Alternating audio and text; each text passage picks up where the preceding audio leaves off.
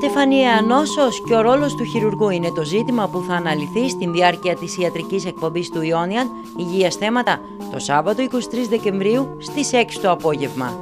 Προσκεκλημένος της ιατρικής συντάκτριας Μαρίας Χιωρόκου είναι ο καρδιοχειρουργός Νίκος Μιχαλόπουλος. Ο κύριος Μιχαλόπουλος θα αναφερθεί και στην ασφάλεια των καρδιοχειρουργικών επεμβάσεων αλλά και σε ζητήματα πρόληψης της στεφανιαίας νόσου.